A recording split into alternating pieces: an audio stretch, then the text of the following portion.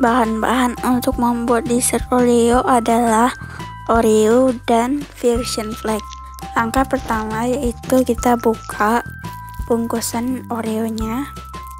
Jika sudah, tuangkan ke dalam wadah atau piring.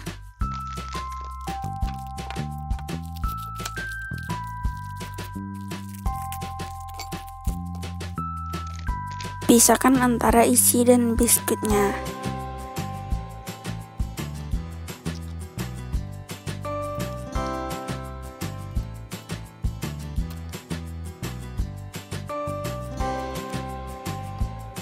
Setelah itu tambahkan susu kental manis.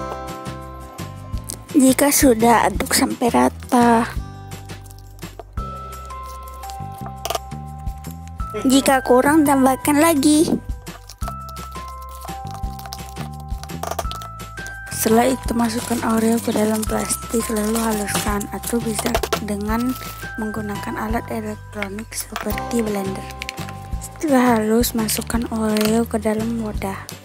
Lakukan seperti ini.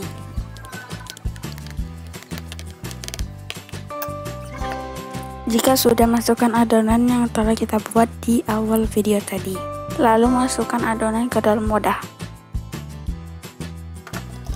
Jika sudah lakukan sampai berlapis-lapis atau sampai adonannya habis.